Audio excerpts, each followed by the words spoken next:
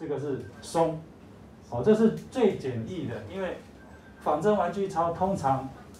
这些水印都不明显、不清楚。哦，再来我们就看隐藏字，我们常常看到那个便利商店啊，你看那个他们拿到钞票一定一定都怎么样？测一下，测光十五度，你就可以看到这个，这有一千的隐藏字，哦，五百有五百隐藏字，两百的、一百的，这两千的，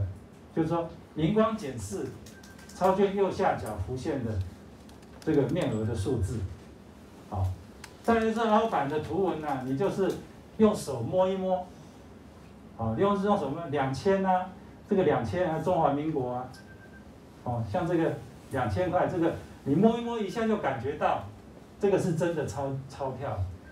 哦，仿真的玩具钞不会做，不会有那么大的这个成本，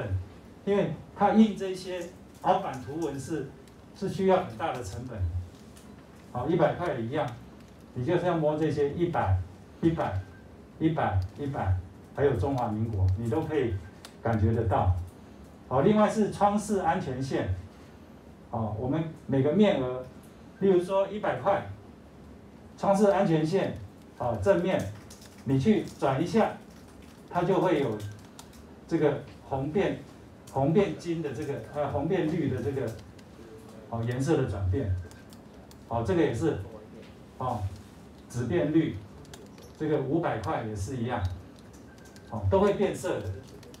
仿真玩具钞都不会变色。哦，再来是看它的变色油墨，哦，一百块，它的正面你也是看这个一百，你转一下，它就是从这个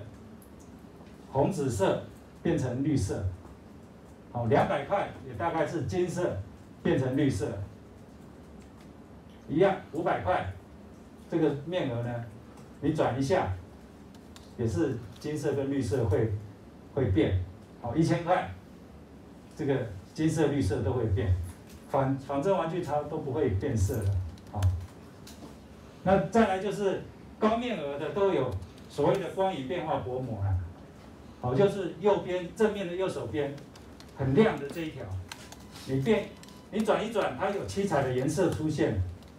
哦。这个是叫做变啊薄膜了，OVD 啊一样，这个变化变色薄膜，哦一千块，那两千块是光影变化薄膜是一个块状，